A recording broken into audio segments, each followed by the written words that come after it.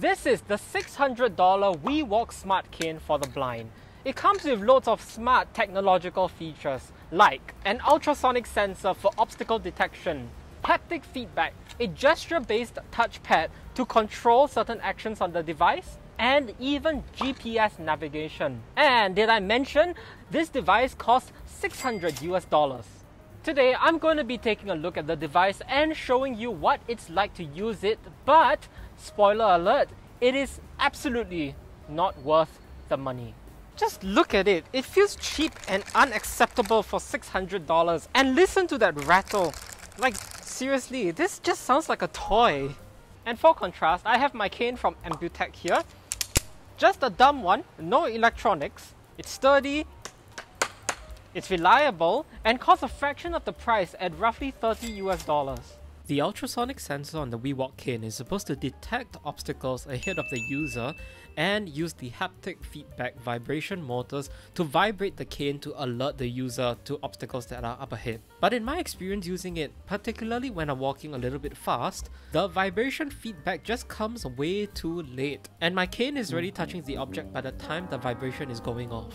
So one set of obstacles that these kinds of ultrasonic sensors tend to struggle with, especially when you're angled like that, is objects that are low to the ground. So for example, we have a set of benches here. I'm to see if the WeWalk can detect that the bench is there. So let me get up close to it. And even though I'm touching it and banging onto it, it's not really uh, it's not really picking up the fact that the bench is here. In fact, I have to actually tilt the cane like this. Oh, it's not even doing it. Like that. for it to register that the bench is there, in which case it's kind of like a, what's the point? I feel like the ultrasonic sensor is not really placed at an ideal position to be picking up objects around the user. From my experience using products that have ultrasonic sensors and also working with ultrasonic sensors, this one probably needs to stick out a little bit more so it can have a better vantage point for identifying obstacles in front of the user. And then there's this thing here. It's the control panel that uses touch-based gestures to control the device. But it just feels like there's a hundred different gestures that you have to learn. And honestly, it's just really distracting when you're trying to use it and walk at the same time. Okay, I might be exaggerating, but the reality is it's really asking a lot out of the user to memorize all of these gestures.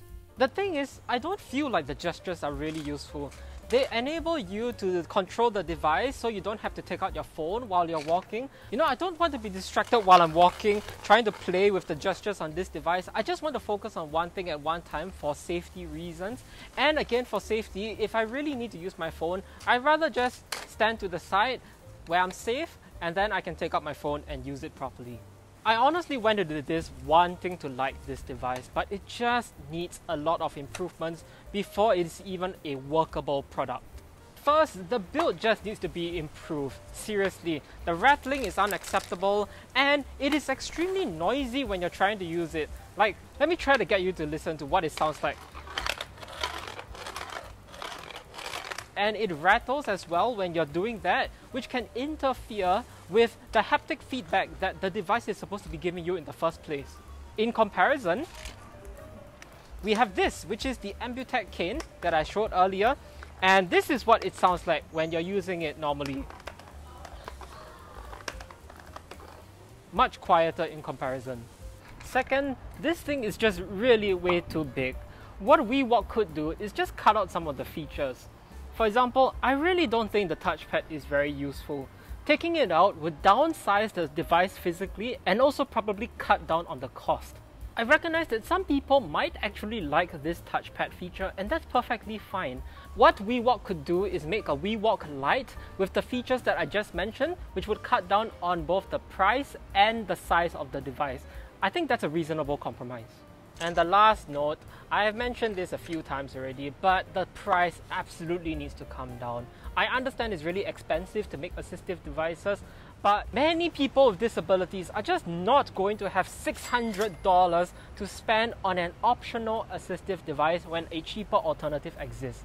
This in particular makes WeWalk's claim that it will change the lives of all blind people all over the world just a little bit um, tone deaf.